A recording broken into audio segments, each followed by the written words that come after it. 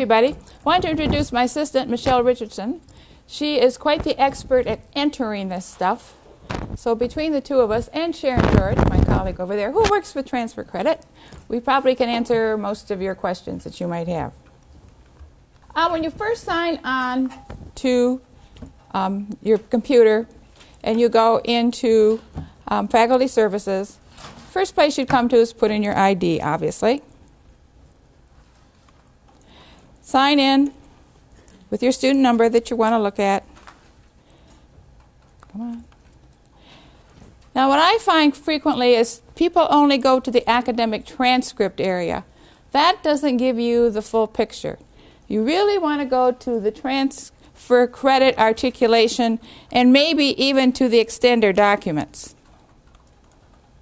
Here's a student, you look at this, this is the transcript on their academic transcript. Looks like a pretty good student there.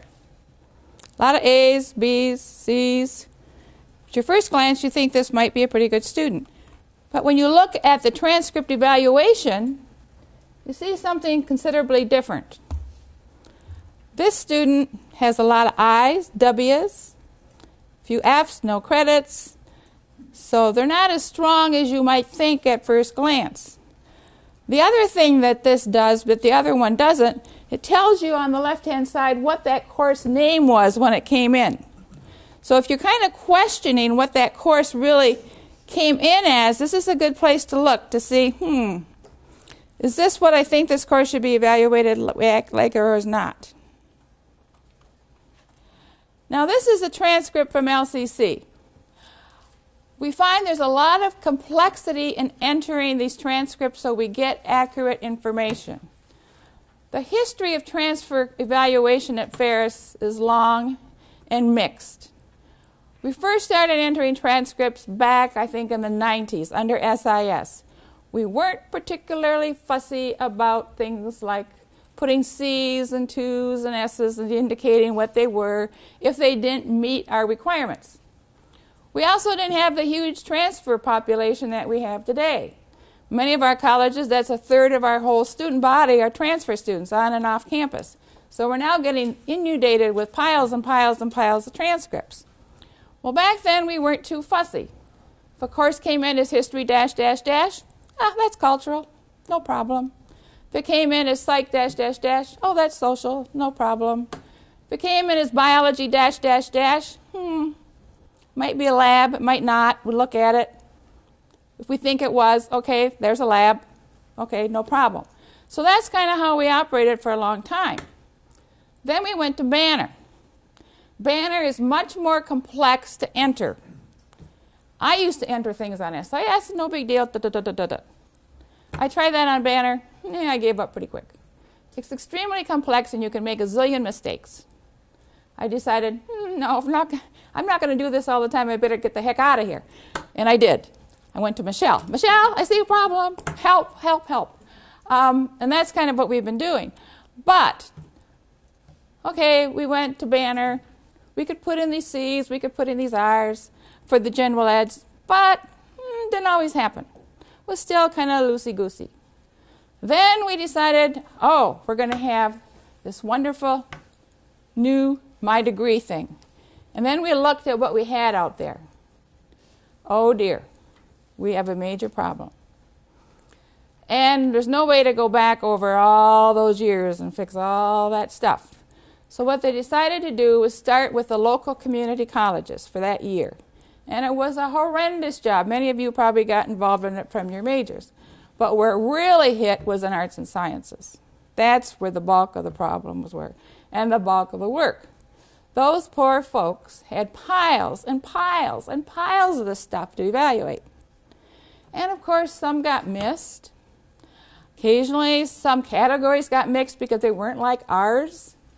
But they spent all this time and hopefully had things fixed.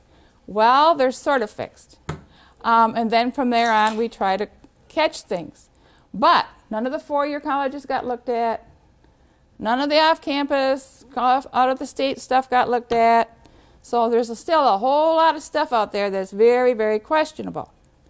When you look at the complications of this stuff, this LCC transcript, if you look at the bottom, very last line, If you type in Math 111 and you're the input person, and it's a four credit class, you're going to get three credits.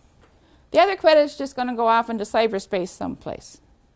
Unless you go into the back side up on top and go in behind it and put in another credit, the other credit the student earned. So that CRIM 110 was four credits at LCC today, and to get the full four credits, you have to go in the back side and put that other extra credit in. Now, in many cases, this is not a big deal. But when it comes to graduation, if a student's missing a credit, it's a big deal.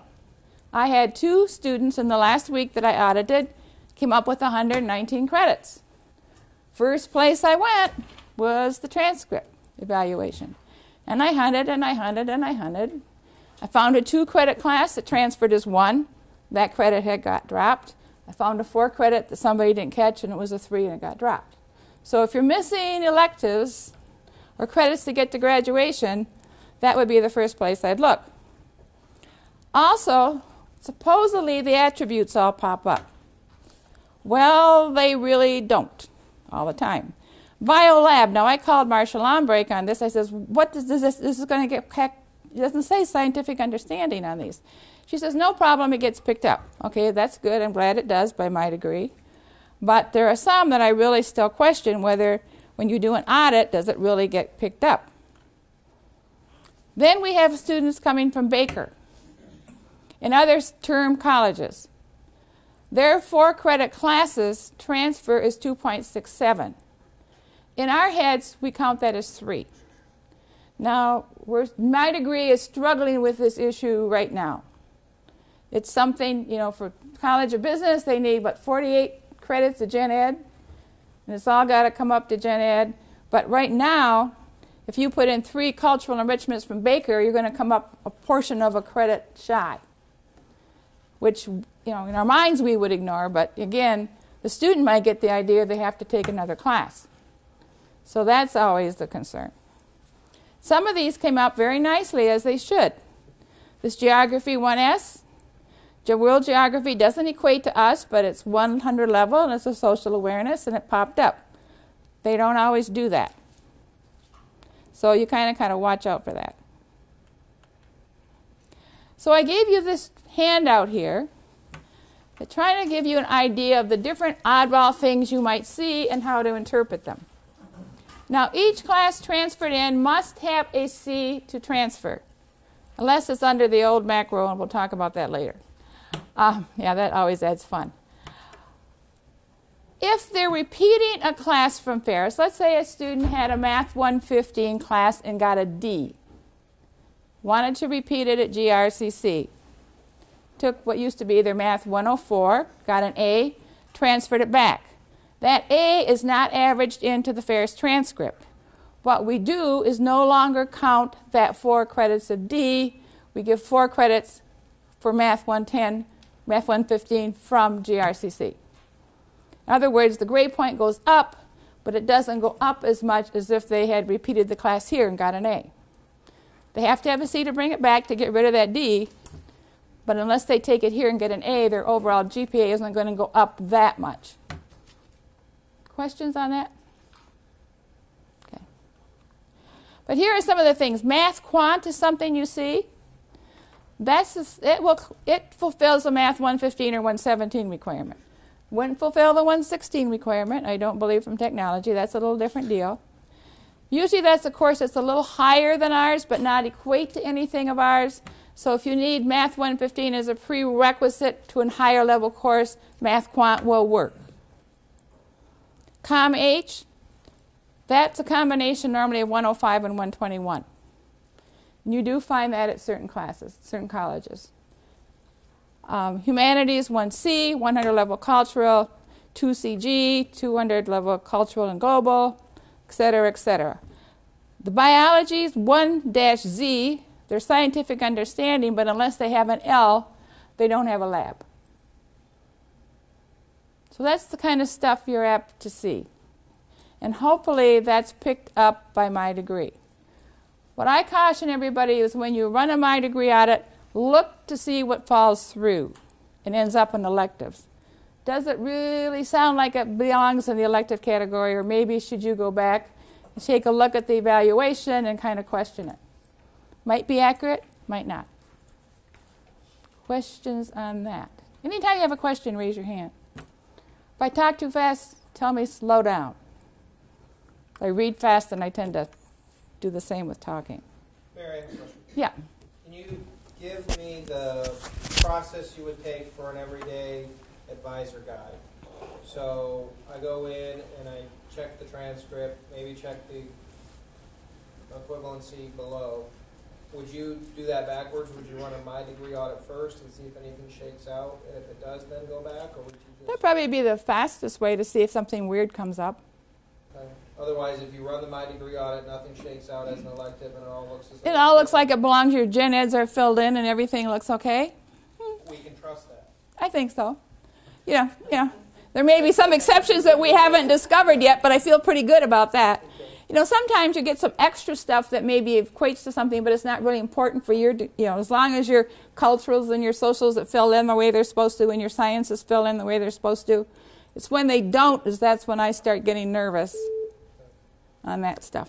Good question.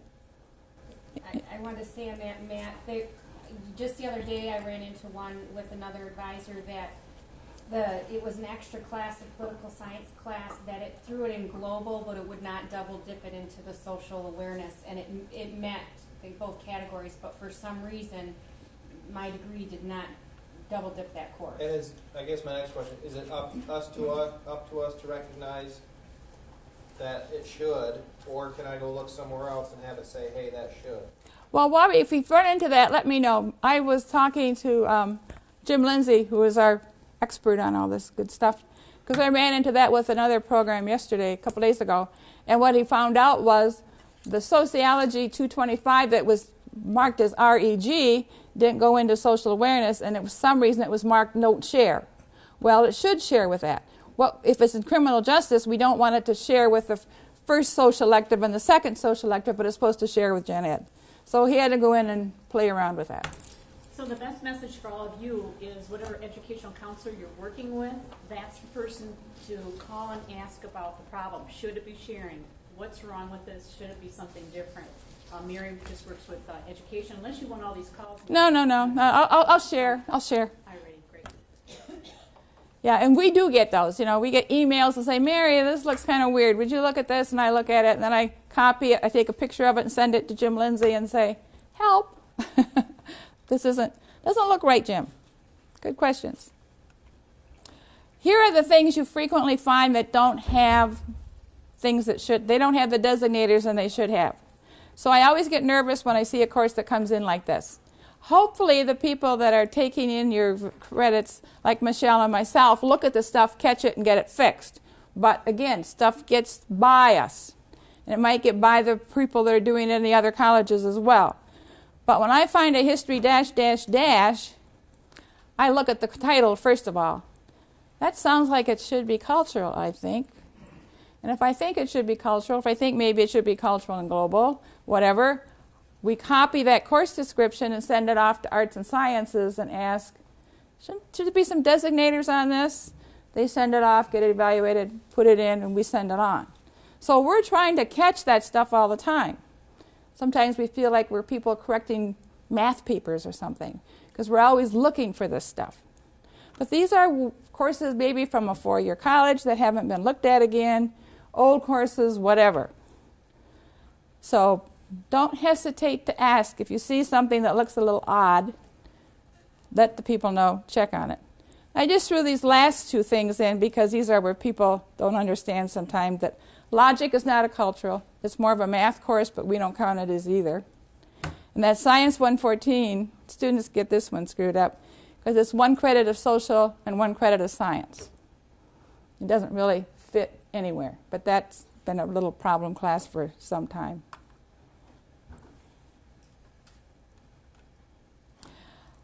Frequently, I go back into Extender, which is the very bottom of those long choices, to look at the actual transcript. If I'm really confused, I go look at it. Also, if it's the summertime and our students are coming into orientation, and I'm going to make recommendations, I go to this to see if they're taking classes that semester or the previous semester and we don't have it yet, so I can make kind of a rough evaluation and question the student when they come in. But if you really have questions, sometimes looking at the actual transcript clears it up a lot better. In our college, too, courses over 10 years old can't be used in teacher education programs, so we have to go back and look and see when they took these classes, know whether we should actually count them or not. We have some oddball things. You're going to see what we call linked courses. Two courses together that equals something. You see this a lot with science classes, particularly over in allied health. You see that 202 clause. It's combined with that 203 course down below that shows no credit. You wonder, what? How come that person didn't get any credit for that class? Well, they actually did. They combined it with the 202, and opposite the 202, you see 3 and 5, which is you get 8 credits. That's how they did that. So the bottom one shows nothing, but then up above, with the course it linked to, you show the full 8 credits, 4 credits from each one. Very strange. You find those mostly with science classes, but we have found them with math classes. What else, Michelle? Those are the two that come to my mind Really, it's mainly the science. science and the math. You may find even three classes put together and come up with one course that evaluates to it. So it's kind of a weird thing to look at. And again, the attributes are supposed to pop up. But if you look down here, this philosophy of bioethics, it says philosophy 220, and I'm pretty sure that's a cultural enrichment. It doesn't say anything about it being a cultural enrichment. So even our own courses don't always pop up the attributes, and I don't know why. I know Marcia raised it to her, and she says, "Yeah, they know there's a problem, but that's a banner problem, and it hasn't been totally fixed yet."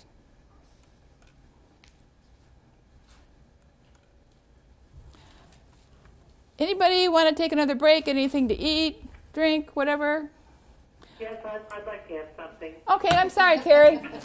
We could just send it up there, we would. Um, when we get done later, if you want to, I've given you each, those that I knew were coming, I gave you your name and a list of three class, three student numbers you might want to look up and see kind of how yours came in. Um, but there's other things we can look at under transfer credit, and I like to go into academics to the bottom line to transfer area because that's the fastest way to get to a lot of this stuff.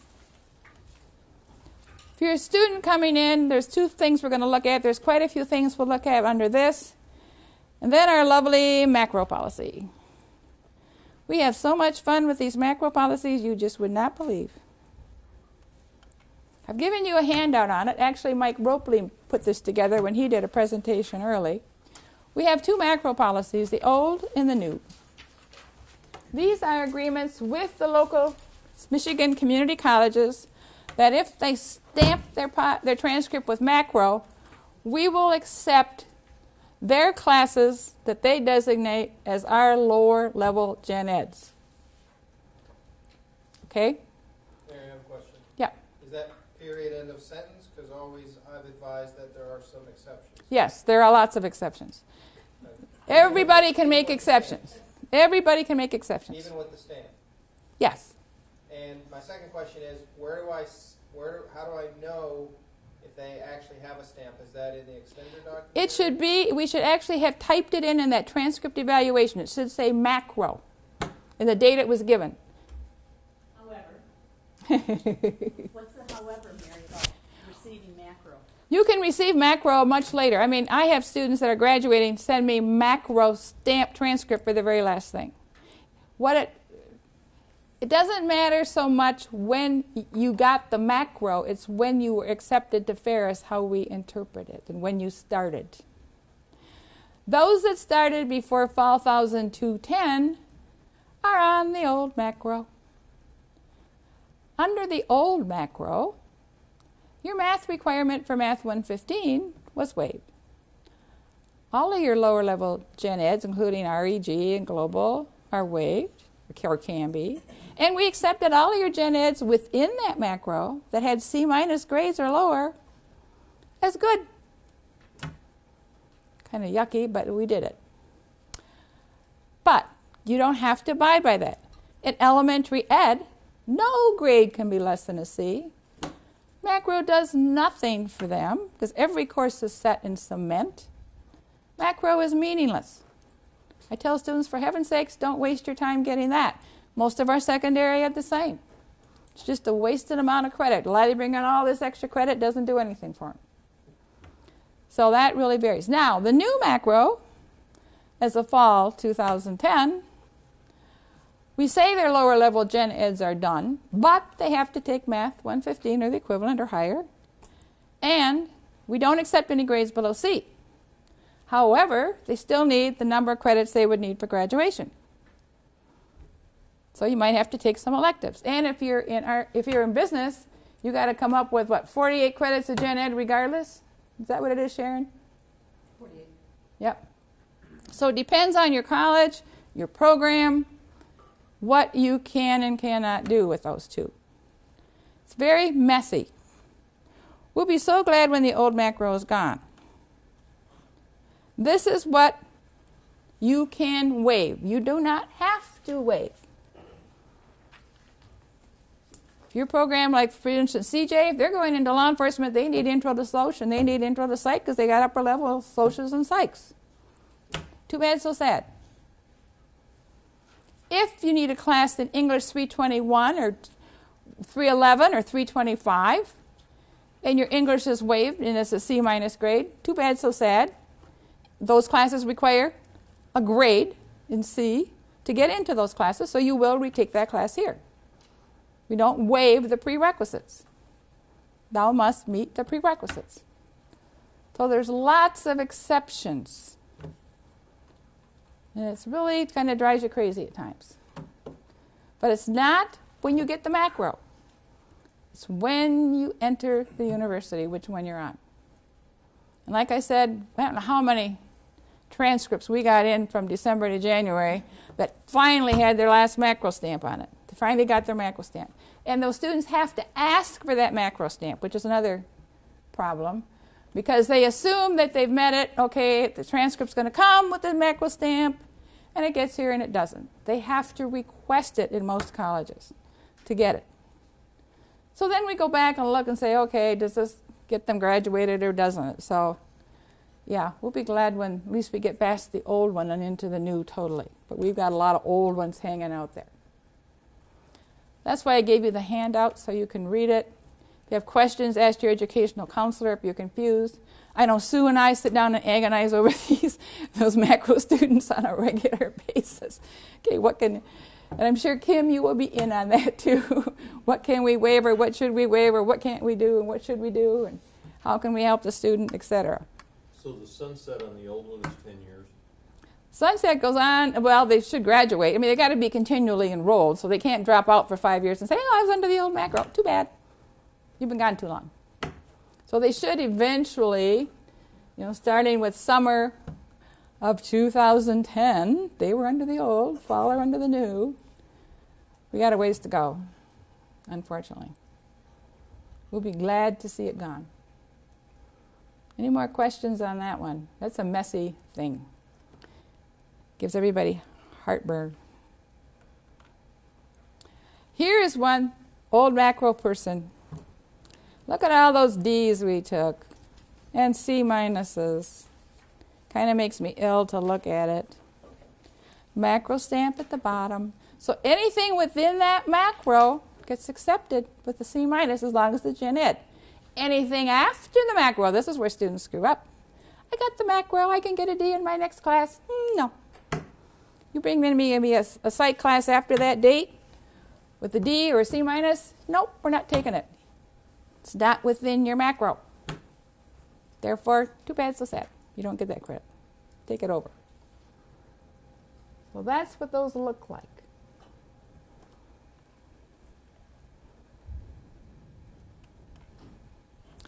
Um, talk a little bit about articulation agreements, residency requirement, transfer guides. Residence requirement is pretty simple. For associate degree, you need 15 credits from Ferris. For a bachelor's, you need 30. You should have half of your credits here at Ferris for bachelor's, But then there's a zillion exceptions for all of our articulation agreements. So it sort of, in many cases, becomes kind of meaningless. Then there's an articulation website that has all kinds of cool things on it. Um, Michigan Community College one. Lots of stuff out there. You can look at the listing of all the community colleges and their articulation agreements. Some of them, it's just their transfer guides. We all put out transfer guides for our programs. There's no exceptions made in those. Those are how courses. If you're at XYZ College and you want to come into, say, criminal justice, these are the classes you take that will fit. We don't make exceptions for those. But if they're an articulation guide, there's probably some exceptions there. Um, we also have them with some post secondary institutions. I don't think we have any of these, but some people do. So here's Delta, and here are some of their articulation guides. Now we have one, we have an articulation guide for criminal justice at Delta. And it looks a lot like our regular transfer guide and our regular check sheet, except there's some exceptions. For instance, as Literature 286, they can substitute some 200 level cultural enrichment. We're not going to bring that class off campus. Instead of taking a certain social awareness here, we'll substitute something. We'll also substitute English 321 for Lit 3, uh, 343. So, in articulation agreement, you have to find some substitutions that you wouldn't find in a transfer guide. That's what ours kind of looks like. It's the rest of it for the first two years. Um, we have a lot of career technical centers agreements, articulation agreements. I think technology has probably a lot more than most people do. 1,200. Okay. We don't have that many. um, but these are outlined in here. And if you go into this website, explains the whole process. Now here's where students screw up. See these little instructions they're supposed to do? Okay. They're going to be in this career center for two years in this program. They have to earn a B and they have to get a test or they have to do a portfolio or whatever. But what they forget to do, they forget to fill out the form. So they come to orientation in the summer. Gee, I'm supposed to get credit for blah, blah, blah. Have you filled out the form and had it sent in? Uh, no. so we send them back to the Career Center to get the form filled out, get it signed, get all the paperwork, send it in. What we do in our colleges, since it's not super crucial with what we get, we'll just schedule around what we think that's going to come in as if they get it, take other classes, and if they don't, we didn't really do everything they were supposed to do to get it, they can take that course next semester. But it probably gets more complicated in a lot of the other colleges than it does with us because we don't have hardly any. And the ones we do have aren't going to slow anybody up. But it gives them an idea of the certain things they can get and how many credits they could get. Now, you really want to find out exactly what they get. You go into that handbook. Yep, I get it. And it'll tell you you're in this thing, you get this articulation assessment, unless you would get this particular course and these credits. If you're in this, you're going to get this course. So you go right down to the program you want and you can look to see exactly what credits it's going to substitute for if you have that articulation agreement and everything's put together the way it should be and comes in. So that's kind of handy. I like to use it during orientation, particularly if a student says they think they've got something. I can go in here and wiggle my way around to get to this and then check it. Transfer guides. We all have these transfer guides that we do for all the community colleges that we put out and try to update every year. It's a horrendous task. Showing what a student at another college can take that will fit exactly into our programs. The problem is, I find a lot of the counselors at the community colleges don't know about these. I had a student call me from Washtenaw the other day. He says, My counselor said, don't even take courses here, just come to Ferris because there isn't anything. And I said, Oh, yeah. I says, There is. And I showed him, and oh, yeah, there it is. Okay. I'll go back and show this to my counselor so they know that there is such a thing. So they're all there. We had the same thing with GRCC. They didn't list us. they said, You don't have any secondary ed programs at Ferris. Well, of course, now Lene is down there and she's fixing all that, fortunately. But somehow they don't find these things. So you go into your college, pick your college, pick your program. I'll pick CJ again. Okay, I'm going to pick Mott. If you're going to Mott, what are you going to take? And then we list all the things they can take at Mott. And this is going to be exactly, you know, there's no, no substitutions for literature here. You're going to take that. So we just go through, there's no exceptions. It's the way it is right here on our campus. That's what a transfer guide is, different than an articulation. Articulations have exceptions normally, transfer guides do not. Questions on those? Okay. Here's one from Allied Health. They're different formats depending on your college and your program. Everybody's got their own kind of thing.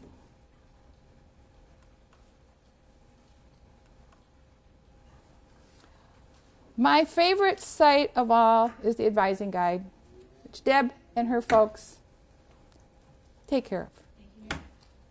This, if you want a question answered, 99% of the time you can find it in this advising guide. I love this thing. Oops, I keep wanting to do what I do at my own office. It's also under faculty services over here. So you've got two places you can get to it real easy. Got all kinds of good stuff. We're going to look at credit by examination programs, then we're going down look at course equivalencies from course from other colleges. All of that stuff is on here, plus a whole lot of other wonderful information. I talk about this in orientation. I try to get the parents and the students to go in and use this because they find it really, really helpful. CLEP, student, brand new student coming in without credit in a certain area can take a CLEP test. If they haven't been to community college, say if they've taken a science class, well, no, you can't take the general science CLEP. But CLEPs are a really cheap way to get college credit. Tests last year were 102 bucks. And here is there's a whole long list of how things come in. Well, but let's say it was a student that could get out of this uh, American literature, they would get six credits for their 102 bucks. That's a wonderful bargain. Many of them come in and want to take the English because they have a 24 in English. I recommend they do it. Now, this is one that doesn't come in right away. Normally, you can go take the CLEP test, get your results that day. This one's got to be sent off. So, in the students in the summer, I tell them, okay, take the test. We're just not going to schedule you for English 150 this semester. We're going to think that you probably do. But if you don't, well, you'll get it next semester. It won't really hold you back. We'll move ahead with some other stuff. But there's just a lot of stuff they can take out there really can save them a bundle of credit, money. Because I have students come in, CLEP out of 16 credits or more, they got a first full semester done for hardly any money at all. So I really push this with good students. If they have a high ACT and they got good grades, I say, hey, you want to consider doing this and get some cheap credit? Parents really like that idea. Believe me, they love that idea. Um, then the students come in with advanced placement credit. They've taken advanced placement tests in high school. They've taken the test. We don't know the results till the middle of July. So they come in in June. I ask them, okay, did you take any AP tests? Tell me what they are. We're going to assume you've passed them. We're going to schedule around them. But then I show them this website and they can see if they passed it, what credits they're going to get. And again, it's a wonderful way for students to get a jump start on college. They don't even have to pay anything for these because it comes from their high school experience and what they did there. But I show them this quite often. Questions on that? Okay. Course competency assessment, that's a proficiency test. And there's different types of proficiency tests. There isn't a CLEP test, so maybe the department has a certain test. Or they can put together a portfolio and have that examined. That can get kind of expensive probably cheaper to take a competency test. But there are students that come to our office, they fill out the form, they've met with the department, they think they can pass the test, they pay for it, take the test, and if they pass it, they get the credit. Of course, no grade, but you get the credit. Again, that's a pretty cheap way. If you're pretty confident you're going to get the credit, pass it, We've seen students do it with microcomputer applications. That's one of the things that they frequently test out of. This is something I didn't even know about till I got into this. There's an actually AP test for international students. I didn't know this thing existed. I, I called around to find out about it. It took me a while to find somebody who knew what it was. Lucia explained, explained it to me over international programs. But yeah, this is kind of cool. Um, here are all the things they can get credit for coming from another country. It's an international thing accepted all over the place. So if they take one of these tests and they pass it, they get the credit. I've never seen one. It's actually not just international. IB can, um, for example, Clarkston High School has IB classes. Really? And yeah, it, it's stateside too. Really? It's, Certain high schools can run IB accredited programs and do the testing. oh, that's cool. Good news. Thank you. Yep, that was brand new to me. I never seen one before until I got in there. I started, well, what the heck is that? Yeah, there's a handful of schools in the state of Michigan, so you might have freshmen that come in. The one thing you have to be cautious about is that there's different levels of IB, and it has to be the upper level, as you can tell, it has to be Mhm. the HL level. Mhm. There's an SL, there's a standard level and an HL. So when students come in and say, I'm in an IB program, be cautious with waiving things and letting them go into the next level until you see an official transcript come through. Because we had a situation this spring or this summer where somebody had English, but they had SL level English ah, somebody put him up in 250, so we had to do a, a back waive for that because it was our error. mm-hmm. But you just have to be very cautious to make sure you get the transcript before you automatically jump them into the next class. Good to know. Yeah, in all the years I've been here, I've never seen one. So, yeah. Yeah, well, that's kind of cool. I didn't know this existed. The other thing we're going to look at is transfer course equivalencies from other colleges. If you have a student wants to take a course at home in a certain class, this is where you go. Show them how to go do this. You pick your college, and if you click on a college, all of their prefixes from that college pack pop up. Then you click on that prefix, and it'll tell you the listing of their classes. For instance, here's Mott. Click on astronomy. The first two you'll get are astronomy 117 and 18. It also is a Kindle course. They've got theirs on here. But it tells you scientific understanding, understanding lab. So there's a couple of them. If they're looking for a science with a lab, okay, this one works. If you're going to Mott. Literature, world, cult, world novels, that comes in as our exact course. It's a cultural. And here's one of those little oddball things you'd have to interpret. Latin American literature comes in as literature 2 CG, literature general credit 200 level, cultural and global. And then we've got this American literature. It says literature general credit, cultural enrichment. Okay, so at least it should come up as cultural, but I'm not sure it's going to, without a designator, if it's actually going to come up that way. So I would kind of question that. And would it be a 200 or a 100? It probably wouldn't equate necessarily to ours because ours is a higher level. But I would kind of question this if I saw it. Here's another one 2RS sociology level race sociology, not global. Here's another one. Ours comes out exactly. So you can find a lot of good things on here. Now this one comes out exact. This one's another one I would question. Psych general credit. I strongly suspect that's supposed to be Psych 2 S, social awareness. We have a 400 level adolescent psych. It wouldn't equate to that because this is only a 200 level. But this is one I would question. I would copy the course description, send it off to have it looked at. Because I suspect it's probably was missed, not caught, something. Here's some more. Early African, pre European. So it would be 2CR, 2 cultural, race, not global. There's another one, recent African American history. Of course, it's not global because it's in our country. But you're going to find these type of things when you look up these different colleges and try to find equivalents. Here are the sciences. Now, this is kind of cool. This one credit is a biology 1ZL. Oh, they got their lab. It's only one credit. You got to come up with seven more credits. Here's another one for one credit. This is not valid. This means this course they're no longer offering.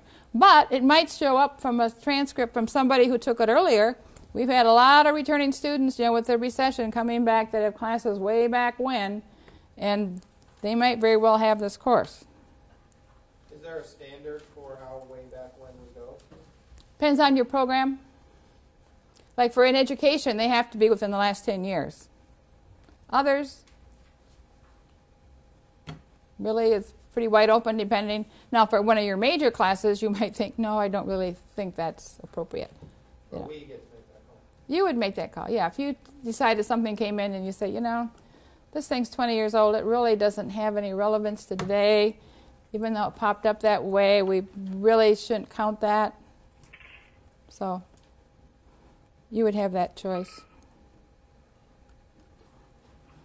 Now, here's where you get these combinations where we link them together normally.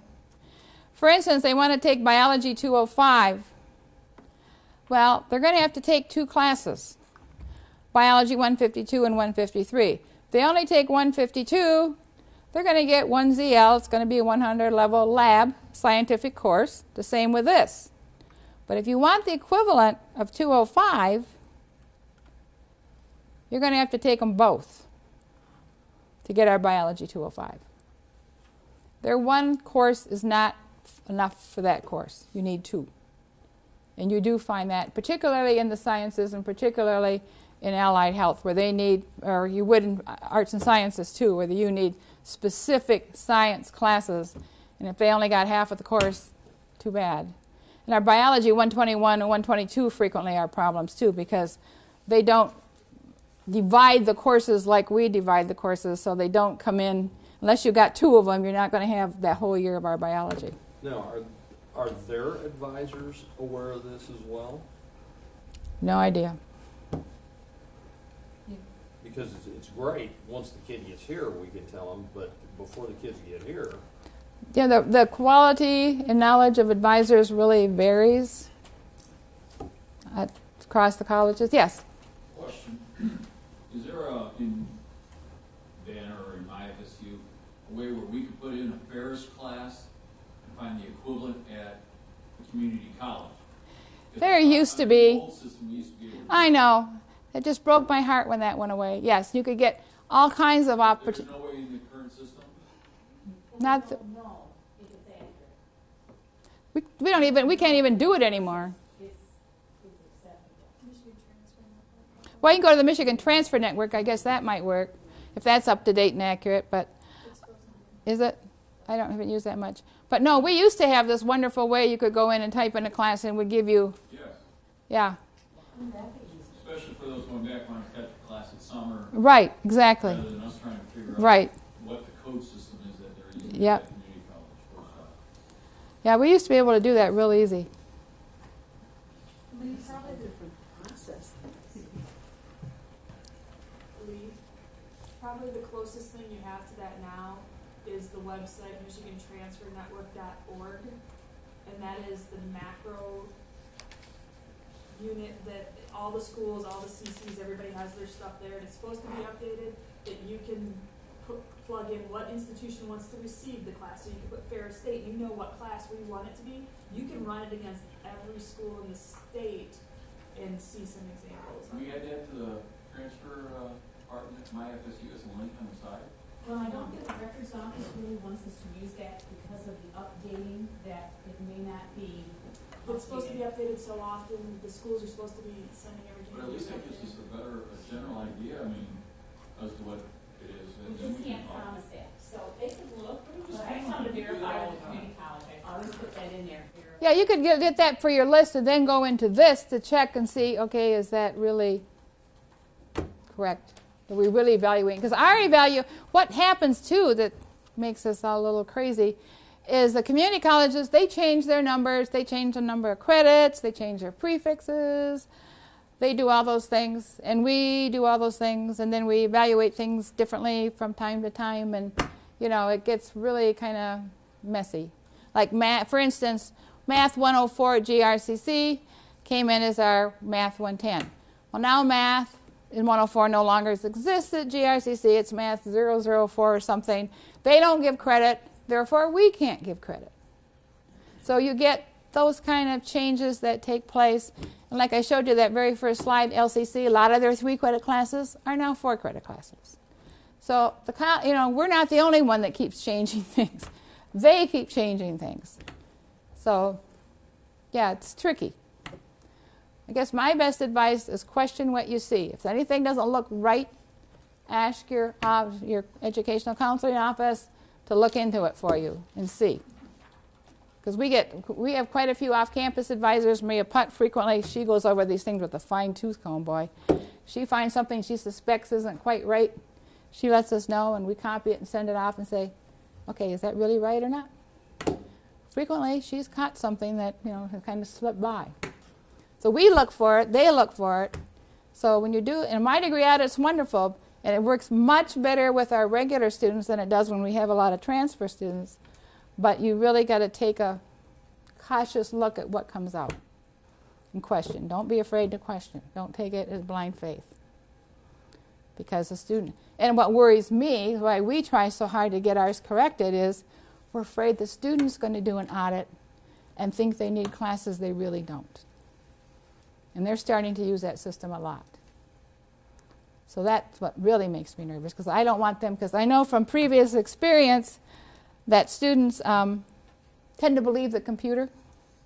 The computer says, well, the computer must be right. Computer is not always right.